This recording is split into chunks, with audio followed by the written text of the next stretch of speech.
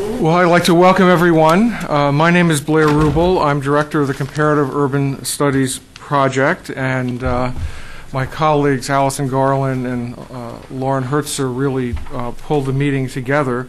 So I'd like to thank them, and I'd like to thank uh, Steve McDonald and Howard Wolpe and their colleagues at the Africa program for helping out as well. Um, this is uh, really a timely and important subject, and a subject which is uh, worthy of attention within the context of South Africa and within the context of Africa. But I think what we're also seeing is that this gives a window onto some very, to my mind, unfortunate global phenomena as well uh, that we've been seeing and working on uh, issues surrounding the integration of, of, migrants in a number of societies and a uh, and heightening accounts of uh, violence against foreigners in a number of, of countries. Uh, uh, particular, we've been working on issues in Ukraine, but I think clearly there are very serious issues that demand our attention. And um, we were very pleased when Loren suggested that he would be able to come back and visit us and present this work. Loren is an old friend of the Comparative Urban Studies program and of the Wilson Center, and he's participated in many of our projects. Uh, so uh, as soon as he said he'd been working on this report, we knew it would be uh, a worthwhile endeavor. Uh, I'd like to thank uh, Steve McDonald, our Wilson Center colleague, for agreeing uh, to serve as a discussant, and, and Whitney Schneidman, uh, who's president of Schneidman Associates International, as well uh, for being a discussant. Uh, this is being it's being streamed live um, on the web, so it's a little bit like what happened with off-track betting in New York when they started. Uh, opening up the gambling, uh, the gambling areas with the videos and the racetracks. Uh, many more people are watching this than you might think in this room, but I do want to thank all of you who uh, managed to come out. Uh, weather isn't that bad today, but the, the metro system seems to be in collapse, so uh, that I'm sure has discouraged some people. So, welcome to all of you. And I think with all of that, I'm just going to turn it over to Loren. Okay. Mm-hmm. Thank you very much, Blair, and of course to, to Allison and Lauren for helping to organize this, and, and uh, Stephen Whitney for what I'm sure will be interesting comments and, and suggestions.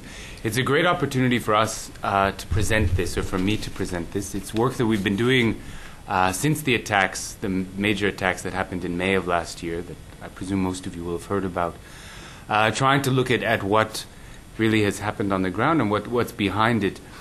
We are, as Blair said, more inter- generally interested in, in migration studies and, and issues of integration and are not experts by any means on kind of urban violence. I think that's a whole other range of uh, kind of inquiry, and we've been left uh, sort of being asked, what should we do? Uh, you know, we found out what is what I'll, I'll, tell you in a few minutes is quite a depressing story about the nature of the South African state and its engagement with a newly urbanized domestic and uh, international migrant population. Uh, what do we do from here? I mean, how do we build the mechanisms necessary to prevent future violence? And I, I don't have the answers to that. I have some ideas of what won't work. Uh, most of the things that are being suggested seem uh, not to make much sense to me. But I, I, look forward to the comments and suggestions about what might, um, where we might go from here. I think I'll try to keep the presentation brief. If anyone is really interested in more details, uh, I can send you the, the report, which will be formally launched in South Africa uh, in a couple of weeks, but happy to distribute it to anyone uh, now. So I'll, I'll, keep it short, and if there's questions, then of course we can deal with that later. Let me first begin. We're supposed to brand everything that we do. So this is this is us, the Forced Migration Studies program uh, at Wits University, which uh, is is broadly looking at at migration, not just forced migration, uh, and international and domestic. Uh, so one of the major areas of our research has been, as Blair suggested, uh, looking at the intersection of international migration and urbanization and what, uh, what comes out of that good and bad. And I think what I'll talk about today is obviously one of the bad, the downsides. so let me then get on uh, just to review quickly the facts of what happened. And I should say that this is one of those presentations that's not suitable for children. Um, you know, because you can see some of the pictures here. Maybe you can't, but th- many of you will have seen images like this on the, on the BBC and elsewhere uh, during the attacks of violence that was not just sort of uh, killing of people, uh, but rather you know a very deeply symbolic and overtly uh, kind of performative form of violence, uh, including burning people, hacking them, as you can see, you're chasing them with golf clubs, with hammers, this sort of thing. you know, so as a result of this, well, this, this these events that you can see the pictures of started off in May 2008, May 11th. Um, and, and in Alex, which is a, a, small township just, well, it's not small, it's just uh, outside of Johannesburg, or really within Johannesburg, and a few miles from the financial center uh, of South Africa, for the stock exchange and the like. Uh, so, very close in proximity to really the heart of the South African state. In the next two weeks, until early June, about 63 people were killed. 40 of these were foreign, uh, and about 20 or 23 were South Africans. And I think this is, this is, a critical fact that's often overlooked. And these were not sort of random South Africans that were caught up in the violence, but were South Africans who either resisted the mobs that were chasing the foreigners, or were South Africans they were also deemed to be outsiders or not South African enough. Uh, Vendas, Pedis, certain ethnic groups that come from the border areas who are seen as undesirable uh, or somehow not uh, the right types of people. Uh, just to note that this was, uh, you know, as you would expect, the mob violence didn't pay much attention to people's legal status or how long they'd been in the country. Pretty much, if you were foreign and identifiable as an outsider or foreign, uh, you were attacked. In addition to those who were killed, uh, 600 or more wounded. We estimate that there was about 100,000 people who were displaced. 35,000 of these or so were, were ultimately housed in government safety camps or safety sites. They refused to use the word camp. Uh, another 30, the government of Mozambique says 30, 40,000 people came back to Mozambique, Mozambicans, and they also set up camps just outside of uh, Maputo to house some of these people. And then there were reports from Botswana and elsewhere that there were people uh, going there. So we don't really know how many people were displaced. Most were probably displaced within South Africa, uh, went to stay somewhere else. Millions of rand polluted and destroyed, hundreds or thousands of houses that were taken over, people's er, all of their possessions they, that they couldn't carry uh, with them, and of course none of this has subsequently been uh, returned. And uh, the violence ended with the uh, first wide-scale deployment of the military within South African territory since 1994. Uh, you know, so a major crisis by sort of South African standards. Although the num- it's worth noting that the number of people killed over this two-week period is not actually any higher than the number of people who are normally killed in South Africa during a, a two-week period, uh, due to the extremely high crime rate. So it's it's not so much the, the absolute numbers of people who are killed, but the kind of displacement in the form of the violence, in the sense that it was uh, it was mobs that were definitely outside of, of control of the state.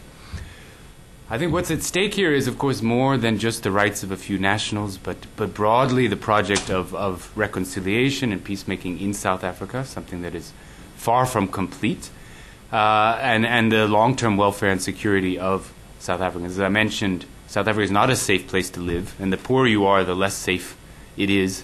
Uh, you know, it's, a, it's an extraordinarily unequal place where there's enormous tensions that have not been resolved, dating back to its history and the contemporary inequalities uh, that are there.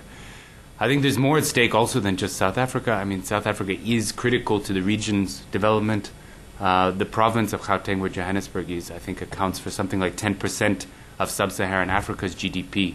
So, what happens there has major uh, repercussions for what happens throughout uh, the region. Uh, if Zimbabwe is going to recover ever, it's going to be largely through South African investment, I would suspect, and through remittances from South Africa. Uh, remittances are already keeping a lot of Zimbabweans alive, and if you sort of turn off that tap, uh, the number of people who would be dying or starving in Zimbabwe would increase uh, tremendously. So there's there's a lot more uh, at stake. Lesotho, 50% of its working age men are in South Africa, uh, so that whole economy is also fully dependent on on foreigners being able to find work in South Africa, and the repercussions go on to, to Malawi, all the way up to Kenya, Tanzania, Congo, elsewhere. And I think also there's, there's an issue of why we're all interested in South Africa and that we sort of hope, we have high hopes for it. And it is this sort of moral leadership to some extent of, of Southern Africa Uh, and that, that moral authority has been severely damaged this within the continent. And I know when, when South African officials travel, they continually ask, like, why are you not nicer to our people? You know, after all we've done for South Africa and to promote it during the dark days, why have you not done more? So the, the South Africa's strong voice in international matters uh, has been hurt. I don't know if you can read this. So this is really what the report is about: is trying to explain uh, why it happened. And in the the weeks and months that followed, uh, well, really in the hours that followed that first attack in May, which I should note is also was not the first attack, but is something that had been going on for a long time and has continued since. Everyone sort of jumped on the bandwagon with their explanations about uh, what was going on. As you can see here, uh, people blaming what was happening in Zimbabwe, criminal elements. The government quickly came out with an argument that it was a third force, which is echoing the kind of uh, apartheid era language of a kind of destabilizing force that was sponsored by the white government uh, to attack the ANC. Uh, others, you know, simply saying that it was really just some criminals and this wasn't a, a broader crisis. Uh, you know, all, I mean, and others, the, the kind of Marxist saying it was the capital, it was capitalism. Others saying it's just administrative failure. So, really, there was no clear explanation. Uh, a lot of the early work focused on public opinion and sort of said, well, South Africans are enormously xenophobic, which is something that we have known and is, is undoubtedly true. I think all the survey data show that South Africa is one of the most xenophobic countries, certainly in Africa and, and high up there in the world in terms of people's attitudes. But that doesn't really explain why the attacks happened in certain places, uh, because it didn't happen in most places. It only happened in certain isolated places, even though those opinions are fairly widespread. Uh, a lot of the early uh, research that was coming out, particularly by the Human Science Research Council, which is the equivalent of sort of the NRF or the SSRC here, came up with some very, what we thought were quite dangerous uh, recommendations. I mean, every NGO came up with its recommendations, which was basically like, we need big programs that uh, support what we're doing. But the HSRC came up with this sort of pro, uh, recommendations based on interviews with South Africans, said, look, we need to control the borders. This is completely out of control. We should militarize the border. Uh, and this is now one of the proposals that's being mooted during the election. Uh, more public education, just sort of telling people they should be nice to each other. Uh, resettlement outside of South Africa, which at that time particularly we thought would be quite dangerous because it's sort of saying the mobs have won. We're going to take all the foreigners out, send that message. Uh, and then what is most worrying, for reasons I'll tell you about in a few minutes, was that they should strengthen local leadership. Uh, and this is people on the ground in the com- uh, street committees, ward committees, uh, local councillors, etc. And while obviously those, those councillors and others have an important role, our research suggests that in most cases those are the ones who are behind the violence. Uh, and so we're deeply afraid that strengthening them would simply empower them uh, to do more damage. So, what we set out to do, faced with all of this research, is to try to find out why the violence happened, where, and, and particularly why foreigners uh, were targeted. Uh, I'll just talk very briefly about what we did. Uh, we are under time pressure, but we still managed to go to seven sites. Uh, uh, these are mainly township areas, identified either because violence happened there or because it, they, the violence didn't happen in a certain part of these townships, even though violence happened sort of just next door. So to try to understand what was it that stopped the violence from spreading into certain areas and what allowed it uh, to go elsewhere. We had a, a, research team that went all over the country. I think saw some pretty miserable and very disturbing things. Uh, they're still traumatized, sort of sit in the corner shaking and, and worried.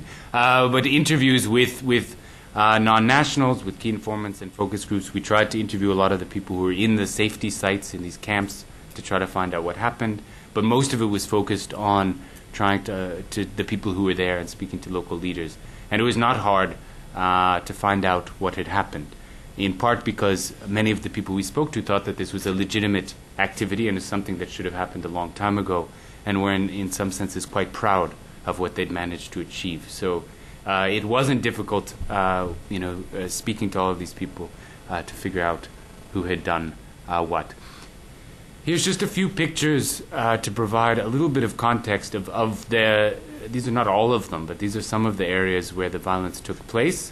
You can see some have been a little bit destroyed, but uh, they don't actually look much better than this anyway. Uh, these are very poor areas, largely informal settlements of recently urbanized uh, migrants or people who are uh, South African population who has a very high unemployment rate in these areas 30 40 percent unemployed uh, very high um, disproportionate densities of men in these areas migrant workers and the like um, so our key findings which I'll then explain uh, was that it although it did happen in, in very poor areas it did not happen in the areas that were the poorest of the South Africa, and it did not happen in those areas where there was the most migrants. Uh, in almost all cases, it was associated with localized struggle for control. It was not something that was centrally organized, although it did draw on kind of national rhetoric, which I'll show you in a few minutes. But usually it was a local official who saw that there was something to gain, or local business leaders who felt that they were uh, facing unfair competition uh, from foreign shopkeepers and had then uh, worked with the police and others to try to get rid of those people. The violence itself builds on a long history of violence within South Africa, in which uh, gangsterism and other forms of violence has often been justified as a political struggle. Uh, and a lot of what the violence that happened in the 80s had this same character, in which it was essentially gangsters who were stealing stuff and saying that this was some part of an anti-apartheid campaign, and they've re, sort of recycled this rhetoric that this gangsterism is also seen as part of a bigger political uh, project. This is where we get to the solutions, which are less certain. Uh, while we're well, we're quite determined that the, the politics are locally driven, that we're not going to be able to resolve this simply by working with the local leaders, and this is for the reason I mentioned before. That those local leaders are still there, and they were the ones who were responsible for the violence, and all of the incentives that promoted the violence in May and before and after are still there. Uh, and so that we need to deal with a, a, sort of more national intervention that changes the incentive structures for the people working at the local level. That said, we recognize that the South African government is in a very difficult position politically, especially facing an election. As I mentioned, this violence was broadly legitimate among a lot of South Africans and any effort that's seen as helping to promote the integration of migrants or other unpopular groups is going to cost people uh, local legitimacy. Uh, and so they're in a difficult position, and many of the people in government know what needs to happen or have some ideas, but will overtly tell you that they can't do it, at least uh, for the time being. All right, so let's let me go back, step back then, and talk about where it happened. Uh, uh, by way of background, here is a map uh, the darker areas, if you can see, are where the non-national populations are based. Uh, it didn't happen in all of those areas. You can see near the Zim border, up to the northeast, uh, is obviously a very dense area near the Lesotho border, near the Mozambican border. This is from the 2001 census. This is more useful. Um, this is a map that shows where recent migrants have come uh, in the last few years. And here you see the densities are not around the border areas as much as around Johannesburg and particularly around Cape Town. And this map, if you, if you um, this is of non-nationals, but it looks very similar if you would add nationals, uh, internal migration. The same areas would be dark. Uh, so it, it's foreigners and South Africans converging in informal settlements and uh, cities over the last five to ten years, and that's where the violence um, happened. Usually it happened in areas where there are identifiable cleavages. Some of the most, most heterogeneous areas were peaceful, and I'll talk about that for a moment, in part because there was not one group that recognized that they could mobilize effectively against another. Usually the violence happened where there was a single cleavage. In some instances, that was between the ANC and the Inkatha Freedom Party. In others, it was where there was sort of strong ethnic uh, cleavages. We've also seen that these are areas with enormous disaffection. We've started this analysis, but it seems that there's a very strong correlation between the, the areas where the violence happened and areas where people don't vote. It's basically where people no longer believe in the political system and have started to build authority structures outside of it. Trying to explain why it was outsiders, because most of the violence, they said it was really about job creation, it was about getting access to houses. So, why is it that you attack foreigners and not the people who actually have those things. Part of this is a history of outsiders being coded as dangerous, and this goes back to the apartheid era in which South Africa was isolated and, and justified white rule by saying that Africans were sort of dangerous and, and not to be trusted. But even post apartheid, you have a, a, a, an official rhetoric, and these are just some statements which I, I won't read. You can read them if you're interested. You know, in which foreigners are basically seen as, as devils. I mean, anything, their simple presence in the country is going to undermine the whole process of transformation and um, finding jobs, providing security. Uh, and this is something that has continued uh, today. Um, there is, as a result of that, uh, a sense of competition, and this came up over and over again for jobs, for houses, particularly publicly funded houses. And one of the odd things was this sort of sense that they're stealing our women, which is, of course, plays on all sorts of weird gender ideas um, about you know women somehow being ours or someone else's. But this was something that uh, continually came as justifications. Obviously, uh, some sort of threatened masculinity behind uh, the violence. The crisis in Zimbabwe seemed to have had a, a, major role in pushing people beyond a tipping point. This wasn't because there was actually more people necessarily in those particular townships, but there was a sense that the South African government wasn't dealing with the Zimbabwean issue. They weren't providing assistance, uh, and Thabo Mbeki had basically said, "You have to get used to having these people here," uh, and people felt that was um, was not appropriate. We also saw at that time, this was very close to the end of Thabo Mbeki's rule of South Africa. He had just lost control of the ANC party a few uh, weeks, a few months before, and there was a sense that uh, Jacob Zuma would understand the needs of people and didn't have this sort of sympathies to foreigners that Thabo Mbeki had formed while he was in exile. Uh, and you saw this even in the months preceding the attacks, in which the police were refusing to refu- recognize refugee papers and immigration documents, saying those are Mbeki papers. We now have Jacob Zuma, and you're going to need Zuma papers, right? And so there was this sense that uh, we can get away with this, that uh, th- this kind of idea of our borders being open to everyone is is finished.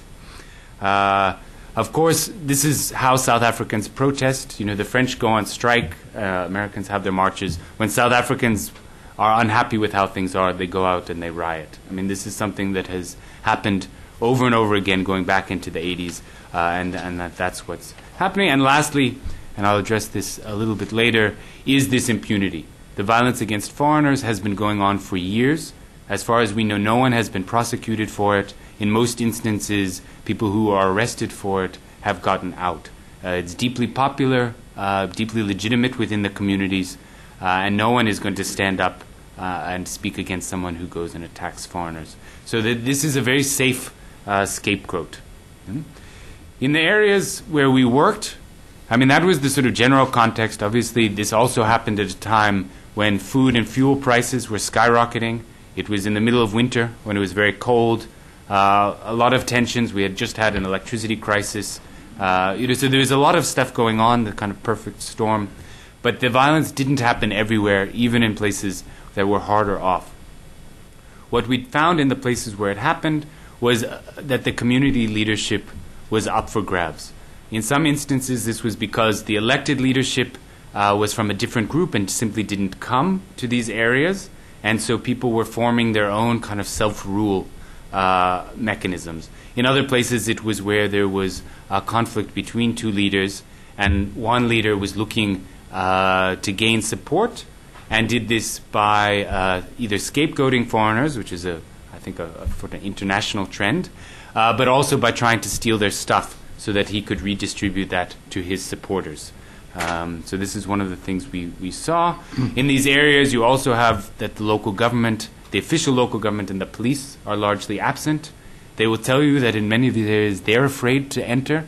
They won't go there because the essentially the streets are controlled um, by self-appointed gangsters and other areas. Uh, there's a part outside of Pretoria that's now called Jeffville, sort of like a Wild West. This guy named Jeff Radebe, who has appointed himself as the leader of this township and has set up an office. Uh, I couldn't find the picture that has Jeffville on it, and he is, you know, everyone knows that if you want to do something there, you go through him. Uh, and so the, these are the sort of structures that are there on the ground. Uh, as a result, and not surprisingly, you don't have much in the way of conflict resolution mechanisms. People are disaffected with the party structures, they're disaffected with their ward councillors, uh, which has led to vigilantism and mob justice uh, around crime, but uh, also around uh, foreigners. We also saw that there seems to be a legacy. In the areas where the violence happened, there had been violence before. Often in the 1980s, uh, during the political violence, but this was, or during the political transition, but there was a sort of, um, you know, some sort of background uh, to this. And in many instances, the people who had gained political leadership during that violence were the ones who had continued to be in power in these areas since then. And so they got away with it in the 80s, in the early 90s, and they, they think they can get away with it um, now. We also see a history of, of sort of local authorities supporting what is essentially illegal practices, stealing people's uh, stuff, limiting uh, ownership of foreign ownership of, of businesses and things uh, like that. I think this is one of the, the sort of where, I mean, this is the only part of the real research I'll talk about, but this was in Alexandra Township. What you had in one part of the township was the violence taking place, and then just next door, uh, this community leadership standing up and saying the violence wouldn't take place. Uh, and I think we can learn a lot from this. Setswetla is the area where the violence didn't happen and is actually worse off in terms of development and, and service delivery. So it's, you know, again showing that it's not just poverty. Uh, it is also more diverse in terms of language groups and population. Uh, and the, the political opposition is not as strong. So in some ways, this, you know, you would think that this might be a, a place where you'd have violence. Uh, there are more foreigners there. Uh, and in both areas, it's not that the people there actually like the foreigners. They also really deeply dislike them and are mistrustful uh, of them. But for some reason, it didn't. Um, you know, they, they didn't. Um, uh, they, they, they didn't attack them, but they rather uh, defended them. And what you saw in that particular community was a sense in which they had brokered and they realized that there was a danger. If they started attacking foreigners, they might also attack a lot of South Africans. And so they stood up against the gangs that were trying to come in they actively worked with the foreign population to get them out peacefully and safely, and then protected their belongings and allowed those people to come back in a few days later. Uh, but part of this has to do with the fact that, um, that, that, and I use this word attached. This is something South Africans say when you take someone's stuff, you attach it. Um, you know, but this is this is uh, suggests that the community leadership really can make the difference. The community leaders in this case were widely legitimate, even though it's a very heterogeneous community. Uh, and, and because the political opposition wasn't so strong, there wasn't those cleavages. So they could try to work uh, with everyone, and everyone sort of followed on. And this is the pattern that we saw elsewhere, where the violence was resisted and didn't happen. You had community leadership structures that were linked to the population, and people actually respected them. Often they were elected instead of sort of self appointed uh, gangsters. Those gangsters were a mob, obviously, a lot of men, but also a lot of women. Uh, and, and they weren't sort of just a spontaneously formed mob, as the South African government tried to suggest immediately after. They were, as we are saying, a, sort of a mob with a purpose. They were organized um, before. Many instances, the people who were leading were people who had been involved in, in the political struggle before or continued to present themselves as kind of community or political uh, leaders. In many instances, you had, as I mentioned, uh, the, the, actual ward councillors and committee, street committees helping to, or, or, the chambers of commerce, helping to organize these mobs, uh, sometimes in collaboration with the police, to go around and they knew exactly where all of the foreigners were and they moved from house to house uh, and they attacked them we asked, you know, what did the, in some of these places, what did the community leaders do to help prevent the violence? And this was what one of the respondents says. No, no, no, you're all basically you're all wrong. The leaders were there. They were helping to show us where the foreigners lived. They were helping to tell us what we could take and who could get what. Right? And these are the leaders who are still there, and the leaders that the HSRC and others have said we need to promote in order to, to help uh, fight this kind of attacks. Getting close to the end, but we'll, we'll look at what happened immediately afterwards and whether there was something done to prevent this from happening again. And just quickly to say, there's not, uh, very little has been done, and we fully expect that this kind of violence, in one form or another, could easily happen again. Uh, we're deeply concerned that with the election and the sort of first really competitive election uh, since 1994, that a lot of the protests and political mobilization that are happening uh, will lead to violence against foreigners or other groups. Um, so basically, what happened? The police came in. You saw all those pictures there of the police. The police were shooting tear gas, but they never really intervened. Uh, they, they tried to contain the violence to some extent, but then allowed it to continue. We spoke to some police who said, What do you expect us to do? We spent the last 15 years trying to establish our legitimacy with these communities. If we go in and now tell them they have to stop hurting foreigners, we'll never be allowed back in the community again. Right? So they realized that they were also sort of torn.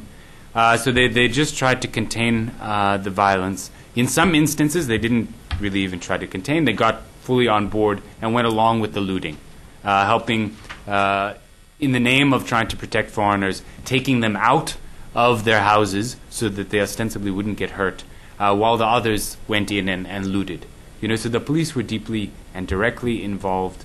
Um, and when we spoke with them, what was most worrying is that they didn't feel that they had done anything wrong. You know, that on the street level police, they thought this was a legitimate thing. They didn't see that they could have done anything else. Uh, in the, the weeks and months that followed, in many instances, um, the reintegration of these people was not possible. Uh, clearly, a lot of foreigners didn't want to go back, were deeply scared. Some had lived in these communities for years, and then, as we saw in Rwanda and elsewhere, had their neighbors turn on them and were deeply confused about what had happened, uh, deeply worried. I think anyone living in a township in South Africa feels insecure anyway.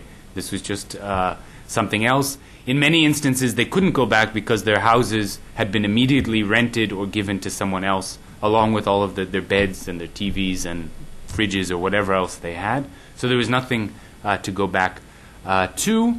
In some areas, the community leaders overtly said, if these people come back, we will kill them.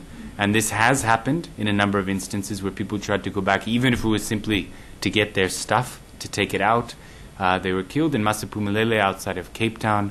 The political leaders were being, there was an award ceremony thanking them uh, for uh, trying to promote reintegration, and an Ethiopian went back and then was killed by other community leaders or members of the community uh, while he was there on the same day. You know, so this is, this is what's uh, going on.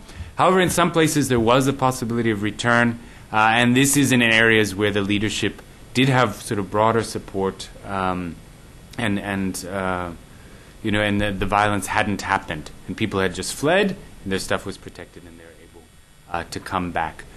We should say that the tensions are still uh, simmering very much since the um, since the May attacks. Something like a dozen foreigners have been targeted and killed uh, in, in instances that are not simply normal South Africa's normal criminal activity. Instances of Somali women being sort of stabbed 65 times and not robbed shopkeepers being shot and not robbed, these sorts of things uh, happening quite regularly. Uh, and you're, you're again, you're starting to see the political parties now realizing that they can win uh, votes at the local level by scapegoating foreigners. And, and this, oddly, in the past, has not been a major election issue in the past elections. Uh, and I think South Africa is now realizing, you know, a la Le Pen and, and others, you know, that this you can win a lot of votes by scapegoating foreigners and saying that uh, winning an election on a promise that you will finish the job that they started in May. And we've heard this a few times um, from local leaders. So, where to from here? This is the speculative part. This is what can be done. Uh, up to this point, I think it's quite a depressing picture. Uh, and, you know, I don't want to be completely depressing. Um, but we don't know exactly what can be done. As I mentioned before, the government is in a, in a difficult uh, place. Uh, and that any sort of initiative that is seen as pro migrant uh, is going to be very difficult uh, to take on. Jacob Zuma's support is a kind of populist, nationalistic support, and that's what people are looking for. We do think that there are some things, however, that could be done that would help not just protect foreigners, but uh, future violence, particularly the potential of violence against non uh, foreign outsiders. The, the first would be any effort to promote accountability and to counter impunity. South Africa has arrested a few hundred of the people who were involved in the, the violence. I think 40 have uh, had their cases heard and been convicted, but most of these are sort of people who are out on the streets, members of the mobs. As far as we know, there's been no real investigation uh, from a forensic side into what happened, and none of the leaders have been arrested. So their kind of uh, foot soldiers have been uh, arrested, but the, the big fish remain in power, uh, often in local leadership uh, positions. Uh, so obviously, our next recommendation would be to try to find some way of isolating and removing those leaders from the community. That will be difficult, but you know, is obviously if you can show that someone is criminal, is something that needs to be done. Uh, I think the local government structure in South Africa does need broader reforms, not just around this, but it's clear that you're seeing massive disaffection and alienation from the political structures. The ANC, after it was elected in 1994, very quickly dismantled its uh, sort of local level structures uh, and became quite wary of too much participation uh, because I think it would it would have pushed a very strong populist agenda, which they didn't want to take. Uh, and I think there's there's probably a need now for the state to try to re-engage at that local uh, level.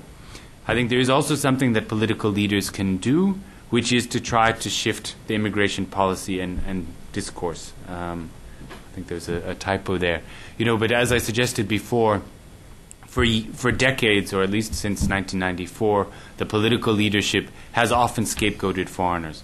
You see a kind of progressive cosmopolitanism among a certain sector, but the, the vast majority of politicians continue to see foreigners as a threat to South Africa. Uh, this, despite the recognition that South Africa's future will depend on bringing foreigners in to fill highly skilled positions to provide needed labor, semi skilled labor. So I think there's a need there to shift uh, the discourse. And lastly, some sort of regular monitoring and ten- of, of, tensions uh, and early interventions. About two years ago, a few of us went to the Human Rights Commission and others saying, We're worried about the rise of this violence. It seems to be happening. They said, Look, we don't have time this year to investigate this or to look into it.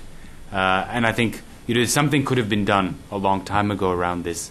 Foreigners have not been on the political agenda. There's, you're not going to win any political points by trying to help foreigners. But I think South Africa has seen that you can lose a lot um, by not trying to protect them.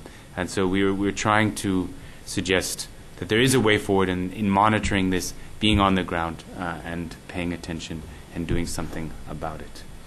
All right, that's where I'll stop. Thank you all for your uh, attention. I look forward to the comments and questions. Thank you, Loren. Um, S- Steve, do you want to go first? Might as well. Uh, Loren, thank you very much. That was an extremely interesting and comprehensive uh, uh, presentation and study. I, I, must say I'm, I'm, I'm really taken by your findings and, and some of the things.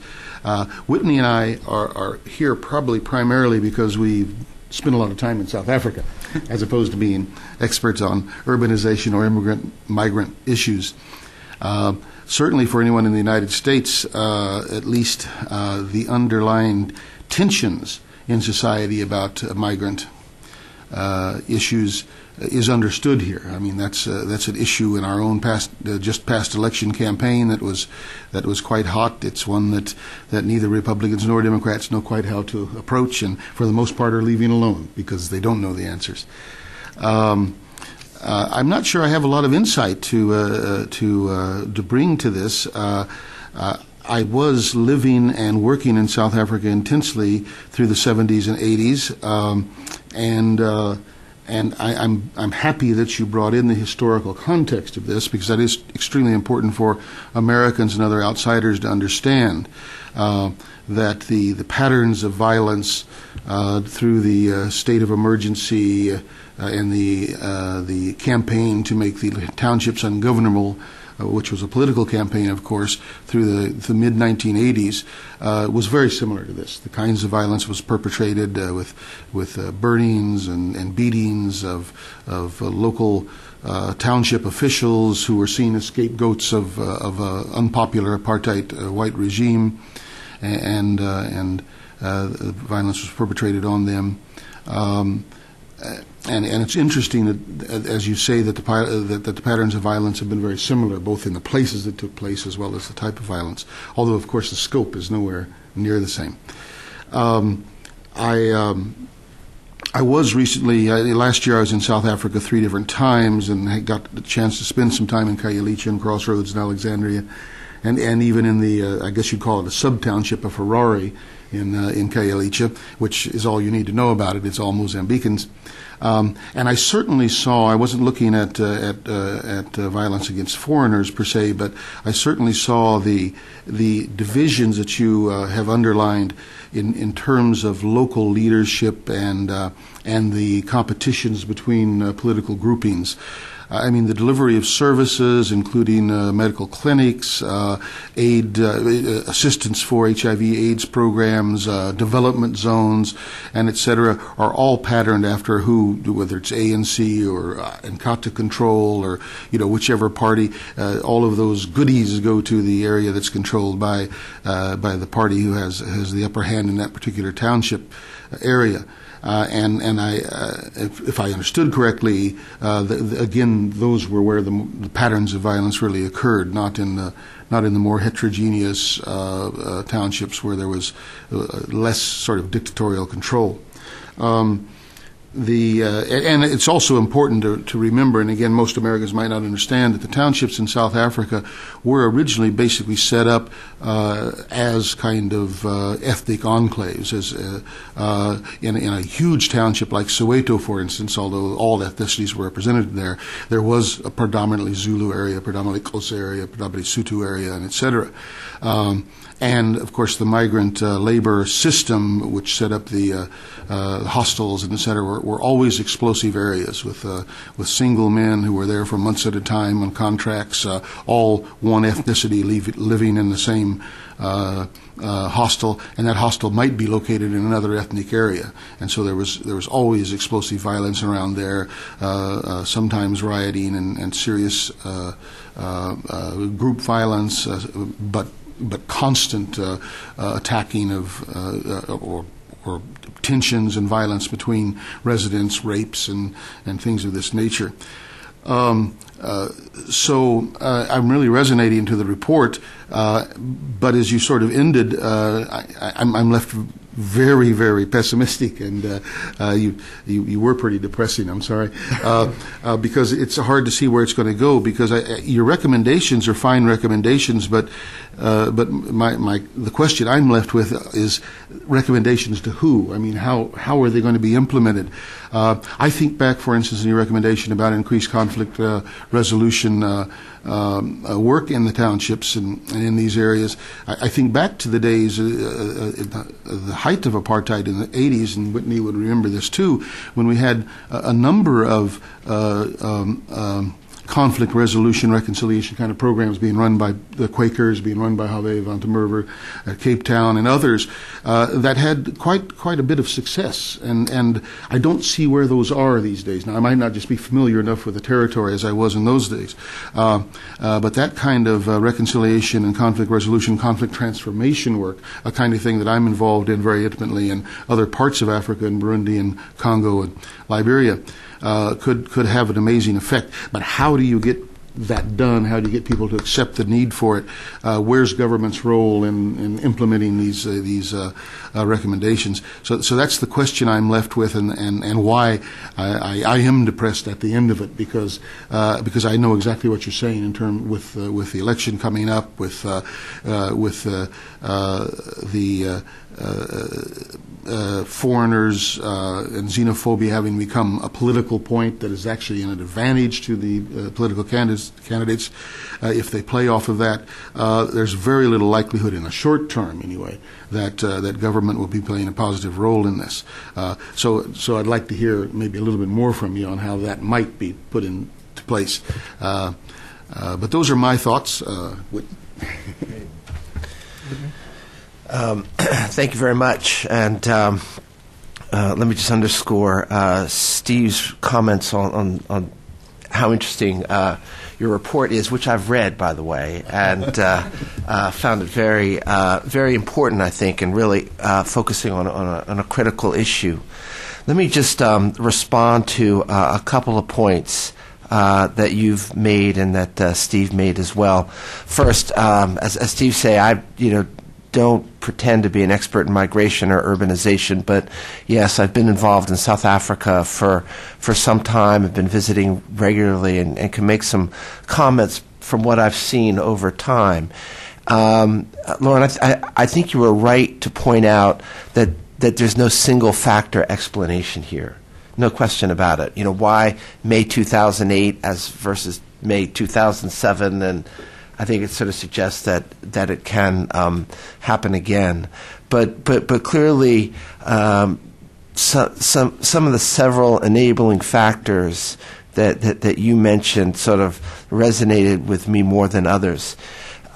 There's one example in your report that, that, that I found very interesting, and where you said that um, you know one of the causal factors was you know in your interviews and uh, a respondent said, well, foreigners came and they took RDP houses.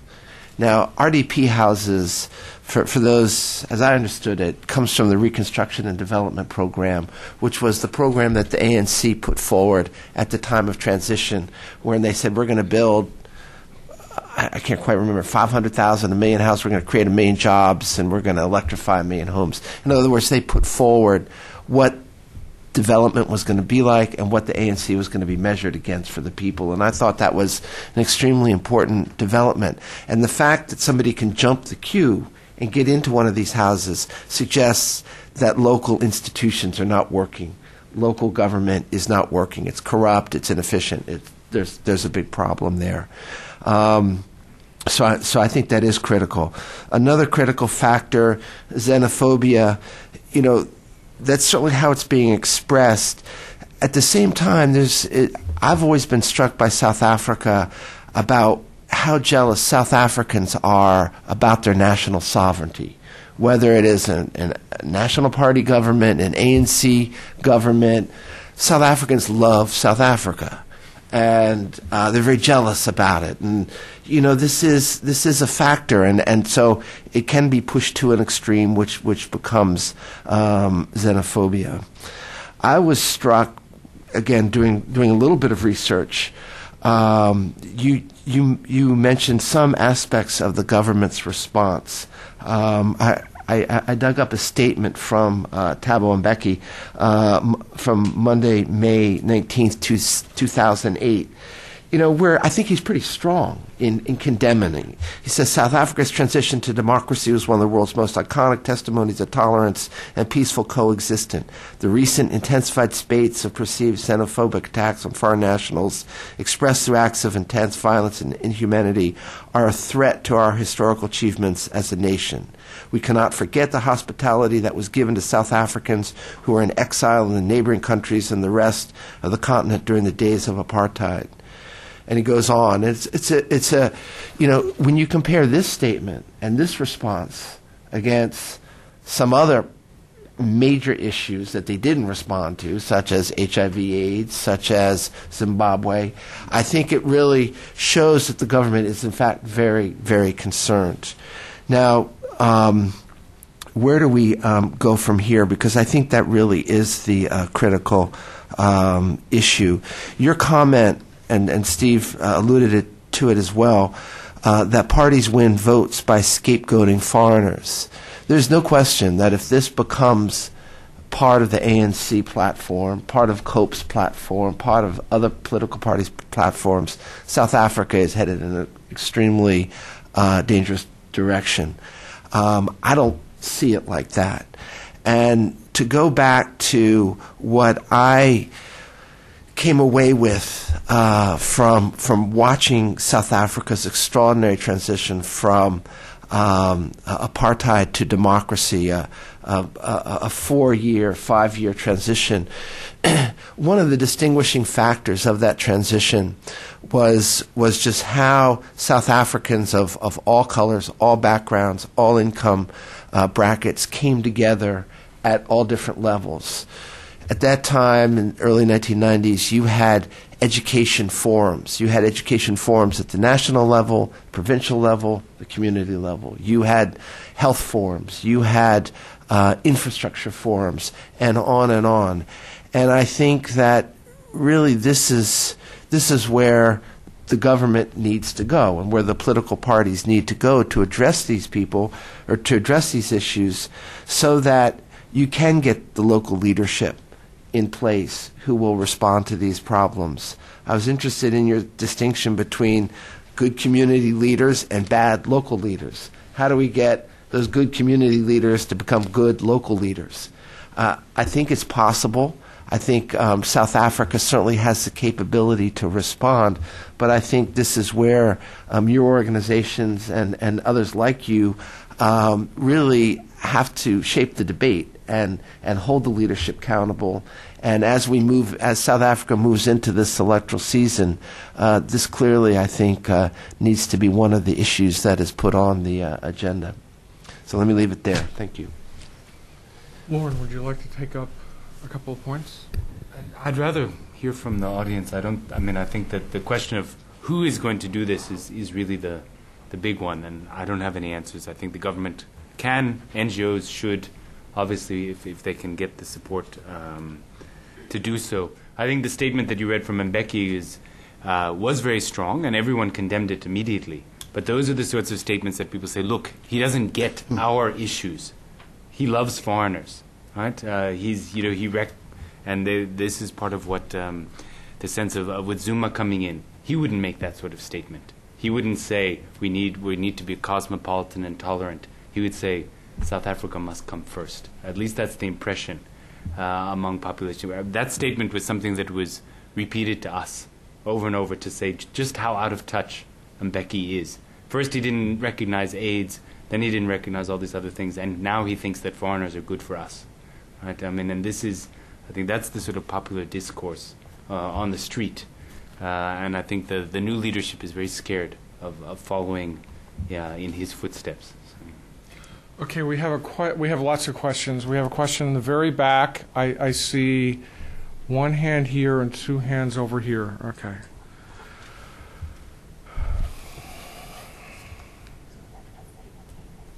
Oh, uh, my name is Manelis Tubasa. I'm uh, with the South African Broadcasting Corporation.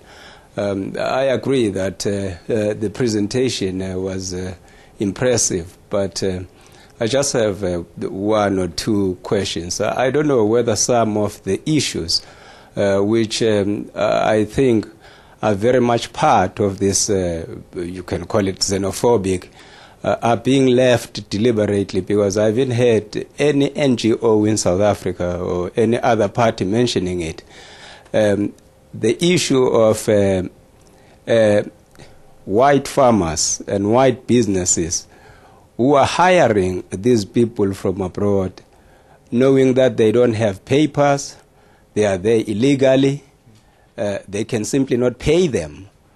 Uh, they can simply uh, sometimes just give them a, a, loaf of bread and a two liter Coke as a payment, uh, avoiding to hire South Africans, making a silly argument which has been made even here in America that uh, these are jobs which South Africans do not want to do, uh, which is nonsense. I mean, this is one of the things that is uh, leading to this violence against foreigners. Um, uh, people from Somalia, from the DRC, and so on, they come to South Africa without even a penny. And suddenly they have businesses. And nobody asks where do they get capital to start these businesses. It is white businesses who are complementing their losses in the towns, in towns and cities. They open these businesses in, in, in the townships and hire these people, uh, even not hiring South Africans, uh, you know, who would be unionized and, you know, want to uh, get, uh, you know, their rights in terms of um, uh, living wages, uh, you know, um, medical aids or health insurances and so on. They hire these people knowing that uh, they might not pay them. They have nowhere to complain because they, they are there illegally in the first place. These things have not been highlighted, and it is part of the problem in South Africa. I was happy when um, Blair said this matter is uh, uh, become a global phenomenon, if it is not already when it started here, because most of the NGOs, again in South Africa and other people, they make it as a South African problem. And when you say that one of the issues that, uh, or one of the solutions, is that we must encourage South African companies and even the government to invest in these companies. I mean, in these countries, you can't be one country with is, pro- which is prospering in the island of poverty. People will come there. It's a problem here in America. Most of the people who bring in drugs here, I mean, they come from countries like Mexico. Some of these drugs doesn't originate here in America.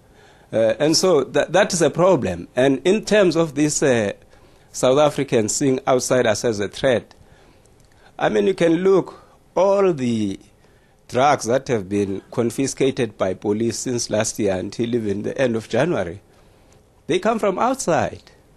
Uh, South African Airways crew were arrested in London very recently uh, with drug consignments. The mastermind was a Nigerian. So there is a legitimate, you know, concern that these outsiders are bringing all these kind of uh, illegal things and criminality inside the country. Some of the stolen guns in South Africa are not originating from South Africa, from countries like DRC, Angola, those conflict countries. So I just want to hear your comment on this thing, whether is it deliberately that you don't highlight these matters, or perhaps you haven't done um, thorough research uh, uh, on these matters. And I've been concerned also about uh, the, the solutions you propose to the government. Uh, it looked like you highlight matters, and quite truly, I mean, legitimate issues that you raise. But I haven't heard properly the solutions. What do you think the solutions are? Uh, Thank you. Okay. Should I respond? Yeah, well, I think you should Okay, respond. thank you for that. Uh, I think it, it does help to highlight some of the, the discourse that is in South Africa, which I didn't speak about. I mean, obviously, long term solutions have to do with making sure everyone has a job and that South Africa is not the most unequal country in the world or close to it. Uh, those are broader macroeconomic uh, and policy decisions, but as we suggested, those kind of things don't explain why the violence happened in certain places because it wasn't always the poorest, it wasn't always those who had lost their jobs that attacked them. And so we didn't think that those were the, the sort of the critical ones. In terms of generally about foreigners stealing jobs, obviously there is competition. We talked to employers who said, look, why would we hire a South African who come to work on the first day and read us the Labor Act and tell us about their rights uh, when we could hire a foreigner? But I think the solution is obviously not to keep foreigners out, which is an impossibility as the South Af- as the U.S. and every other country has, has noticed, but to do what the AFL-CIO and others have done to say let's include foreigners in our advocacy campaigns and make sure that when they work, they're also paid decent wages. Uh, and that has not been the approach of South African civil society, which continues to say we just need to keep foreigners out. And so I think that, that we need to shift the, the discourse in there. And in terms of crime, the, you're right. Uh, international crim- criminal syndicates are a problem. But if you look at the arrest statistics and the conviction statistics, 98% of crime in South Africa is done by South Africans. They've got a long history of urban violence and crime that didn't need to be. Uh, they don't need to be shown by anyone how to do it. You know, so it's it's yes, there are foreign criminals, but most of the the crime is coming from within uh, South Africa. You know, so it's it's not. We shouldn't be looking at at migration control as a form of crime prevention. I mean, that's that's not going to. Uh, to work. But I think you're, you're right. There needs to be a broader discussion and to recognize that there are very real political uh, sensibilities that are uh, need to be, uh, in terms of popular opinion, in terms of what, what leaders can do in, in taking these uh, these issues forward. Okay, I have. Oh, okay. Since you're right there, right, we'll take the woman right there, and then we'll come over to this side. Oh, um, it is a fascinating report, and I think I heard it briefed. Oh, I'm sorry. I'm is Patricia. Kiefer from the American Federation of Teachers, and I just returned from living and working for 19 years in South Africa during this whole process, and left South Africa about two months after the um, disturbances in May. My question really is one that I, I think that's more addressed to Whitney, which has to do with how this bodes for, politi- for future political leadership in South Africa. I, um, I would also want to address my friend here because I don't think what you talked about is simply a racial context of, of, perm, of being perpetuated by white businesses. My last my work for the last seven years, I've worked with organized teachers in both Zimbabwe and South Africa. And in the last two years, have seen a very aggressive action on behalf of the South Africa government to recruit Zimbabwe teachers in math and science, bring them to South Africa, place them in schools, much to the irritation of South African unions because the South Afri- this government, the ANC government, is doing this on contractual hires, so they do not have to pay the negotiated settlements that they have with the teacher unions in South Africa. So I think there's complicity by your government in this matter, and I don't think it only exists in the education sector. Um, but it really is one the, the the message you read from Thabo Mbeki was one that I remember being um, being reported. It seemed, though, in those days that there was almost a deafening silence, not unlike what happened here after Katrina. Um, I don't think, for example, this type of protest action is uh, something that one can say is unique to South Africa. This is the way South Africans protest. I mean, this is the way the French protest. This, this is the way Americans engaged in urban action in Katrina. Um, it is more, I think, and I think you would agree from your profession, endemic of what happens in a disadvantaged and a desperate population. Um, and as I recall, and I might be wrong about this, I think it was Geraldine Fraser Moleketi who was the first cabinet minister to venture out into Alexandra as one of the townships to do site visits. But that seemed to take days as well. Um, and so, taken with everything that you all know about South Africa, having studied and exposed to this transition now for 20 years, where is the leadership of this country going to deal with the lack of social cohesion? Um, and how do we understand it as we look at what our relationships are with South Africa, what we would still like to see its role be in the region, um, and whether it's a Mbeki government or a Zuma government, um, what are the positive signs and what are the things that we can do to uh, to support those forces, whether they're community-based organizations or um, various ways in which we deal diplomatically and development-wise with South Africa in the next couple of years. Whitney, I think your name was mentioned. Okay, modest question, Pat. Thank you. yeah, right. Thank you, though. I think you uh, just you know bring up some some very critical um, issues. Um, number one, um, on the response. Look, statements are statements. I think it's it is interesting though that they did deploy the military, and it just shows again the government's awareness and sensitivity, given the fact, as as as Loren pointed out, the number of deaths during this two week period was no greater than any other two week period. But the fact that it was couched in this xenophobia just touched a nerve in government that I think uh, was quite um, quite quite sensitive. Um, and you know, I don't know. You know, was it enough? Probably not. It's probably never enough. Hasn't happened since, I, which is encouraging.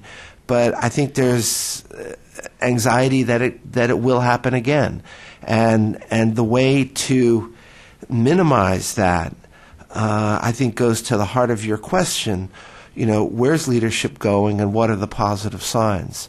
From my point of view, I think it's a tremendously positive sign that there's another political party, that that there was a faction that has broken away from the ANC that is prepared to challenge the ANC in a certain way that that none of the other political parties uh, have been able to do, and I think that that raises um, uh, important opportunities. Um, you know, we, we, talk about Jacob Zuma a lot, the perceived next president. Um, you know, what's his policy going to be on this? Is one question. What's his economic policy going to be? Is Trevor Manuel going to be there? So there are a lot of question marks, but certainly in Zuma's movements through Washington and, and conversations we've had with him, they, they go to great lengths to ensure us that there will be continuity of economic policy, which hopefully, you know, augurs the fact that that maybe they do get it. It's not just Zuma, it's people around him. Maybe they do get it and, and understand the need to um, address this. Um, again, what are the positive signs? Well, I think one of the positive signs is that this report's been written, and the fact that you know NGOs uh, such as Lawrence Center for De- Democracy and Enterprise and, and others are addressing this. Clearly, it needs to be taken uh, to a higher level much more quickly, and I think engaging uh, COSATU and the labor unions in this discussion directly is quite important to try to develop some kind of um, uh, framework for dealing with these issues because, as the gentleman from the SABC points out, this is not just South Africa. The United States, France, many governments deal with migration issues, xenophobia, racism, and uh, it is up to all sectors of government and, and, and the state to respond if it's going to be dealt with. And if there isn't that kind of broad response, then uh, it is quite unsettling. I think we'll go. Uh, may, may, I? Uh, sure. Okay. Just add a note there. Uh, I just think that Pat has asked the right question, and it goes back a little bit to the question that I asked too, and that, that is, where's the leadership in this? And I think the leadership has to be at the national level. Uh, I don't have the answer to the question. Uh, uh, we, we've heard from Loren, and we all know that there's been a failure of leadership at the local level, at the township level. Um, um, and uh, sometimes it's been complicit, sometimes it is not, sometimes it's been positive, sometimes it is not. But those kinds of divisions that, that I highlighted and that Loren highlighted uh, at the uh, at the local levels uh, between parties, between different interest groups, uh, and et cetera, uh, will not be solved there. They'll only be solved by national leadership. Um, and and the answer may be, uh, and here's where what Whitney picks up as one of the positives, and that is the kind of attention that's being paid to this issue now by NGOs, uh, Loren's report and other things. And and I, I, was just there again in November and in July and August since this violence took place, and it certainly is uh, a, a, a, point of discussion broadly in the community about what to do about this. Um, uh, there needs to be some kind of national dialogue on this. I, I think back, and, and we all should think back to the, the, the, the famously raucous but, uh, but creative period of CODESA. Uh, uh, 92, 93, 94, leading up to the elections in 94, where all South Africans came together and looked at the constitutional questions and looked at these issues in this transition. Uh, something like this needs to happen again. I think uh, you're not going to uh, you're not going to engage the government alone, particularly in the pre-election period on this, but uh, but maybe in the post-election period, the government can take this lead and, and, and call for a national dialogue or a national convention uh, on on these kinds of issues. But the leadership really needs to come from the top very strongly. Okay, we will now go back to the floor. We'll go to this gentleman.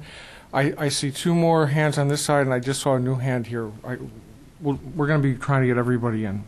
Thank you very much. Um, I'm Dan O'Flaherty with the U.S. South Africa Business Council with the Corporate Council on Africa. And Mr. Landau, thank you for a very interesting uh, uh, report and presentation. Uh, I have a question, a two-part question. Uh, first of all, about the provenance of the outburst. Uh, urban explosions in developing countries are not unique, most famous being the Bogotazo in, in uh, Bogota, Colombia in the late 1940s, which was a sort of spontaneous uh, eruption of tremendous violence that, that then abated. Uh, now, apparently, this one has also abated. Uh, you say 12 deaths since May of, of 2008. That's 10 months of relative calm. Um, so one, one, one, question that arises is what are the variables that, uh, if, and I apologize, I was, I was late, so I'm not, you may have addressed this already, but what are the variables that govern the level of violence or the, the outbursts of this sort? Um, now, secondly, um, you know, Whitney, you're right about uh, uh, continuity of macroeconomic policies, but we are in a new world now, and uh, South Africa is not going to escape the global recession. Uh, so the question arises what impact will a, an economic downturn have on the probability of repeated uh, uh, occasions of this? Thank you. I, I think maybe we'll go ahead and, and take the gentleman in the back, and we'll have two questions, two, and then we'll come back up. And then I'm going to go, just so you know, after we have responses, we'll go here and then over here. Uh, thank you. And a fascinating talk. My name is Rich Fryman from the Wilson Center. I was wondering if you talk a little bit more about immediate causes. Um, why exactly May 11th? Um, was the violence simultaneous across the different areas, or did it start in one area and spread? Um, what was the role of the media in in shaping this at the time? Uh, finally, I guess just a, a, a quick comment on, on solutions. This does have a very long history. Um, what what struck me as you were doing your presentation was was thinking about uh, burnings, taking of stuff, lynchings, violence in the United States in the West Coast cities of uh, Wyoming, uh, Oregon, Washington, California, 1860s, 1870s, 1880s. Um, it's not just current. This has been going on for quite some time. Uh, looking across advanced industrial countries, the solutions seem to be uh, several. Either you have massive exclusion and deportation of the foreign population, either forced or through the threat of fear. Uh, you deploy out of area military or the police to try and solve the problem. Uh, major political parties will embrace foreign scapegoating until they become concerned that they're losing control of the issue, either to each other or to fringe parties. Uh, relying on popular backlash in favor of foreigners is much less common. Uh, it, it, happens in rare instances. And just to reinforce the point that Steve made, uh, what has to happen is leadership from the top. Thank you. Okay, let me try to respond quickly. I mean, these are all huge discussions, obviously. Uh, in terms of the specific variables, I think that what we saw was, I mean, it was the middle of winter, it's cold, price of, of electricity, the price of food and everything had at that point just skyrocketed. Even transport to get to work had doubled in the last few months as a result of fuel prices. So I think those tensions uh, set the stage for it. And then to, to build on the point about it being an economic crisis, this is part of what is worrying. A lot of, I mean, unemployment is already pretty extraordinary in South Africa. It's likely to get worse uh, in the in the months ahead. And the, the specific triggers were uh, political opportunism. I mean, people recognizing that they could. In one instance, in, Alex, it was in preparation for this year's election, in which the hostels, uh, the, the leaders of the hostel wanted to clear an area of foreigners who were presumed to be ANC supporters so that they could make sure to win uh, that district. Other places, it was more sort of parochial interests. But part of our concern then is that those same incentives you have the, the economic crisis is getting worse, and the inequality is probably going to get worse. And then you provide a whole new range of, of uh, political incentives with the new with the election, and then with all of the uh, restructuring that's likely to happen uh, afterwards. In terms of, of the the kind of geography of the of the violence, uh, there had been attacks, actually escalating attacks before Alexandra in the weeks, uh, just in the weeks before, outside of Pretoria uh, which had, had gotten very little response. Uh, in one instance, the, the response had actually been to uh, arrest the people who had been displaced and deport them. This was, you know, uh, leading to this idea that, that these people really have no rights. Uh, I think part of why Alex touched it off was precisely because it, it was so close to Johannesburg. It has a, um, a sort of reputation. It's a politically symbolic spot. It was a very strong uh, point of resistance in the 80s and had been held up as a kind of place that had managed uh, to overcome that legacy and, and was a, a, space of tolerance. And then specifically because Winnie Mandela went there almost immediately. And if you see this as symbolic violence of people's disaffection with the government, uh, and now you kill a few foreigners and you get Winnie Mandela to come. Someone pays attention, comes and promises you houses, comes and promises you that the government cares and is going to give you jobs. Uh, I think that that sends a powerful message that this is a way to get the attention of the national leadership that's been ignoring you or seems to have been ignoring you for the last 15 years. Uh, and I think that's part of what kicked it off. The media in the past has had a, a, fairly negative role in spreading stereotypes. In this instance, I think they just reported what was going on for the most part, and I think many of the journalists were shocked also at the degree of the violence. Uh, so it was really just a sort of demonstration effect that people saw what was happening, and they also saw that they could get away with it and that they could get attention uh, for it, and that helped uh, spread it around the country. Okay. You both feel your questions are answered? Okay. Uh, We're going to go here next, then over here, and then I see a- another person has put a hand up over here. Okay. Cecily Brewer with the International Housing Coalition. And my question is just you've touched on it a bit about urbanization and what factors about urbanization have played into this. And then from the solution side, you know, what, looking at urbanization as maybe a problem and an opportunity, what can be done to, you know, improve that side of the situation? And why don't we then also get the question over here? Yeah. Thank you. Thank you very much. Um, I'm Nozi Pumbandra from uh, Foundation based in Johannesburg, South Africa. Um, my first uh, is just a comment. Just looking at the uh, cholera outbreak in Zimbabwe and the impact that is actually having in uh, the province of in Limpopo, has the government um, I know that we're in a bit of a vacuum right now, but has there been any, any indication of this, how this will be called in terms of it being another stimulant to further violence? Because, as we know, a lot of people have been dying off because of the cholera, and the general sentiment is that the Zimbabweans are bringing the cholera, which is killing our people. So, I mean, I have, I feel that this is something that really needs to be looked at. Um, secondly, just another comment on the if I quote, if I'm quoting correctly, South Africans and the jealousy of their national sovereignty. Um, I just think that the mere fact that black South Africans had to experience apartheid speaks volumes to that statement, and that would explain um, why uh, South Africans have such an ownership of their place of birth. Perhaps you could get, uh, shed a bit more light on what exactly you meant by that.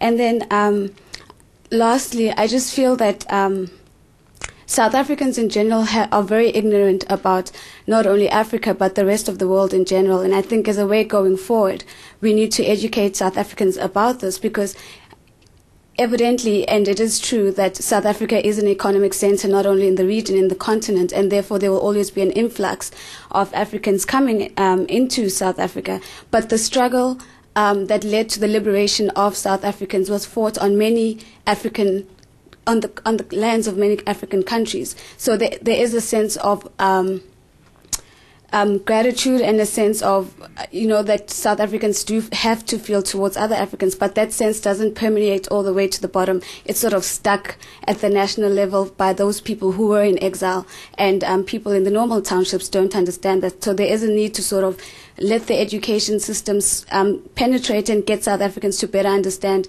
relations with other Africans and the rest of the world as well. I mean, what happened in Kenya just a few months before the xenophobic outbreak in South Africa should have been used as um, a very clear image of the way in which South Africa does not want to go. And then I just do want to apologize. I have not seen your report, so my last comment might be completely off the mark.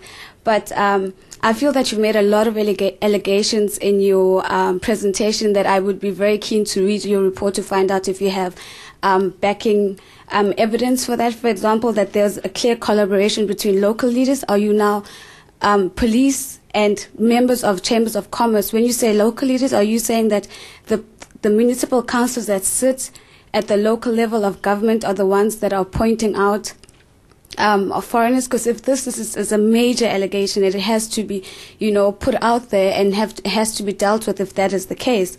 And also Jeffville, um, I don't know, is, is it just a coincidence that Jeff Radebe is one of the ministers in South Africa in that place, and this guy's name is um, Jeff Radebe? I, I live in Pretoria and I have lived there for the last decade or so. I've never heard of the place, so I'll read your report and maybe you'll give more insight. Thank you. There are a lot of questions here. Uh, so I think we should take these and then we'll come back. Okay.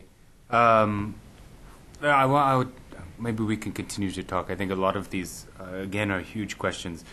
The first question about what, what about urbanization? I mean, I think what you, what you see in South Africa is this is a, a sort of complicated issue, I think, which I'll try to grapple with.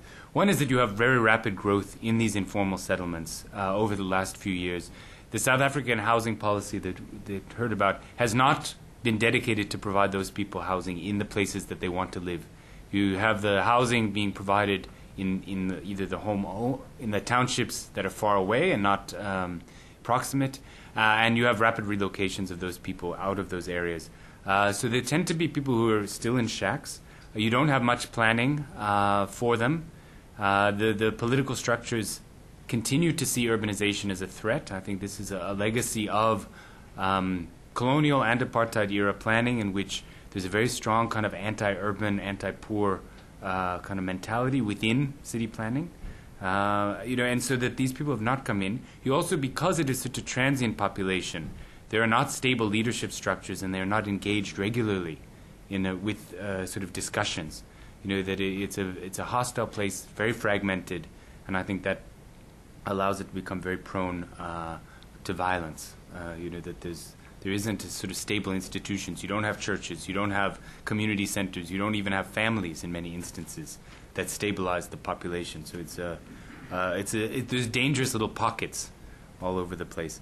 Uh, in terms of cholera, I mean, I think you're you're right in that this is being held up as look what's happening with the Zimbabweans again, result of a poor response to the Zimbabwean migration rather than the Zimbabweans per se. I mean, the local leadership in Messina, for example, has stopped the UNHCR and others from building tents and sanitation systems for the, the thousands of Zimbabweans who are there because they're afraid that this will attract more. So as a result, they're reaping very poor rewards for you know trying to resist uh, uh, a more progressive uh, response. I do think, echoing what you've said and what others have said, there is a need to have a real national discussion around what it means to live in a multicultural, multinational society, which is something I think South Africa started in the mid 90s and didn't continue. Uh, they are in a difficult place of trying to create a nation out of a very diverse domestic population in a kind of globalized era. You know, when you know, which is not something that most countries have ever had to do. You know, and I think that there is it's difficult, and there's going to have to be a discussion about where that um, that goes. In terms of your evidence of the local leaders, they admitted that they were doing this. We went and talked to them, and they told us proudly uh, that they took a role in identifying foreigners and helping to get them out of the communities. Didn't take us very long to figure this out. Um, you know, and people would, as a, there's this quote from the person in Alex saying, "Look, they were there, all the way with the gangs. The Chamber of Commerce, uh, working with the police, going from house to house and identifying people, removing them from their houses. Uh, it's a, it is in the report. We haven't named all of the names uh, to try to protect our, our respondents, but a police investigation should, if they were serious about it, would find these things out uh, very quickly. This gentleman here.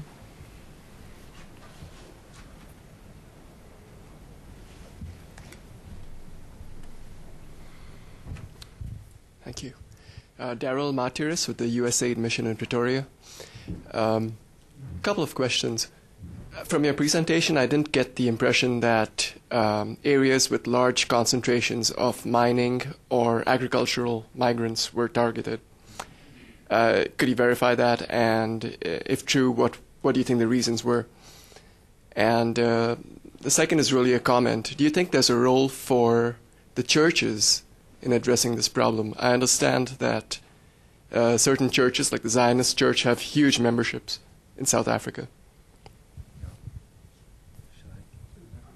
Yeah, I mean, you're right that the, the agricultural areas were not, you didn't see much violence, uh, or the mining areas. Uh, to some extent, it's, mining has become less and less a foreign issue than it was in the past because of the unions and the labor laws. The agricultural areas, I think, you have a, a fragment, I mean, the population is quite dispersed in those, you don't have this sort of dense townships. And this was dist- uh, a distinctly a sort of urban phenomenon emerging out of struggles for control over those areas. In a lot of the mining areas where there is a, a sort of more urban kind of thing, the political leadership that's there is in power. Right? The, there's not a debate. You know, it's either ANC or IFP. You don't have that conflict. Whereas in the townships, you have these sort of heterogeneous groups struggling uh, for authority, and I think that's part of uh, what was um, behind it. And in terms of the churches, I think they could have a very powerful role. You're seeing the Central Methodist Church in Johannesburg, for example, trying to do a lot to reach out to the Zimbabweans. He's now being sued by his neighbors for hosting Zimbabweans at the church. uh, he's lost a lot of his constituents, if that's what you call church members. Um, I'm not a church goer. Parishioners, yes. Um, uh, you know, th- because they also don't like the idea that the church is being taken over. They see it as, as Zimbabweans. But I think that we have to work with whatever institutions that we can. And there are definitely, Desmond Tutu has been a strong voice against this, and others can be persuaded. Um, you know, and, and that, that's a way of reaching people with something that is a, legitimate institution for many. I, um, I, I don't, I, since we've run through the questions, I don't want to prolong this too much longer, but I, I want to push on a couple of points. I apologize because I really, I know virtually nothing about South Africa. I spent all of a week there, which means I know I'm more confused than had I never gone there.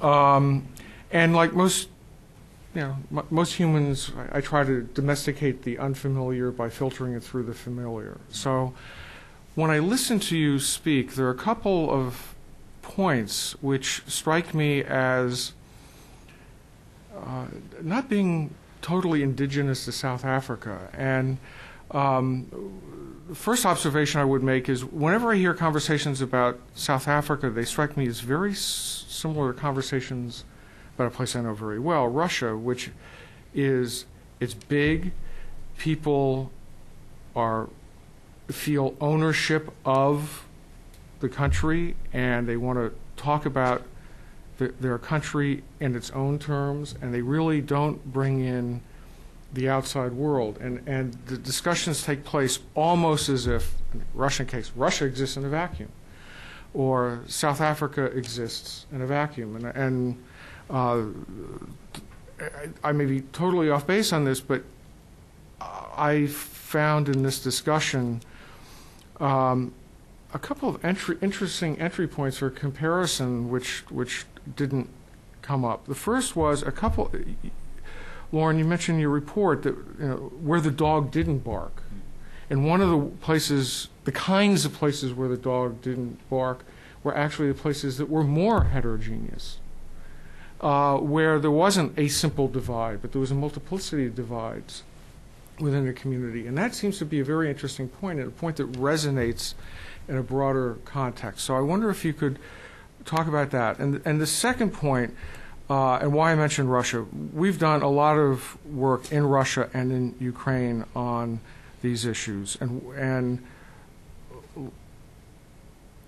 the question of the presence of foreigners is a global challenge. We just had you know, you pick up the newspaper this week in Washington or turn on the TV, you have police officials trying to meet arrest quotas in Baltimore going down to 7 Eleven looking for Hispanics so they can find people to arrest to meet quotas. Or that's what the allegation is. Um, there's been an increase of violence against foreigners in both Russia and Ukraine, often with the complicity of local police officials often police officials viewing foreigners as sort of walking ATM machines that you can rip them off without worrying about it. Uh, but also because police wanting to build ties to local communities understand that foreigners are disliked. Therefore, if we beat up on the foreigners, our prestige will increase. But there's one fundamental difference between Russia and Ukraine. Russia doesn't feel as if it needs to be integrated anywhere. Uh, Russia is Russia. We play by our own rules. We tried to play by your rules. It made our country a mess. We're going back. We're playing by our rules. Ukraine, Ukrainian national leaders want Ukraine to be in NATO. They want Ukraine to be in Europe. And if you're going to be in NATO and you're going to be in Europe, you can't have people beaten up walking down the street because they look different. And what that means is, unlike Russia, actually, the Ukrainian government is looking for ways to try to train the police, try to talk about these issues, try to develop an educational curriculum, not because they don't anybody particularly cares for foreigners, but because it looks bad when you're applying to NATO uh, to have people who look like a lot of NATO soldiers beaten up when they're walking down the streets. So this whole question of how South Africa, what, this is a long way getting around the question, how South Africa is embedded into a global context.